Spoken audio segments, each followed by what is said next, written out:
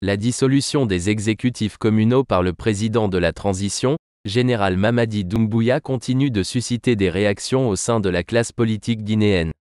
Si certains approuvent, d'autres sont contre cette décision du chef de la junte au pouvoir en Guinée.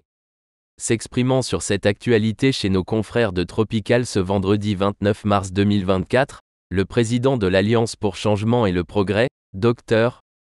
Ben Youssouf Keïta a soutenu que la dissolution des conseils communaux par le président de la transition est une démarche légale. Je pense que cette dissolution des exécutifs communaux est tout à fait légale. C'est tout à fait compréhensible, a déclaré l'ancien président de la commission santé à l'Assemblée nationale, ajoutant par la suite que le président de la transition aurait dû se passer de la dissolution de tous les maires de la République de Guinée.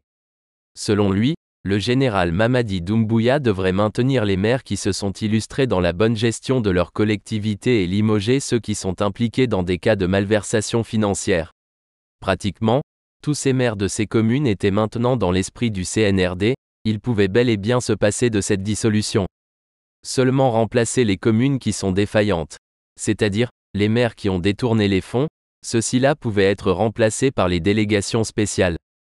Mais, tous ceux qui ont eu la gestion vertueuse devraient continuer à servir, parce qu'ils ont déjà l'expérience et surtout, ils sont dans l'esprit du CNRD.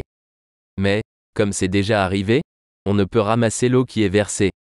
Espérons que ceux qui vont bénéficier de la confiance du général Mamadi Doumbouya soient dans l'esprit du peuple. Qu'ils sachent qu'ils sont là pour servir leur localité, pour servir la population et non pour se servir. Donc, ne pas confondre la caisse de la commune à leurs propres proches pendant des élections, être neutre, impartial et défendre la vérité, rien que la vérité, a-t-il interpellé.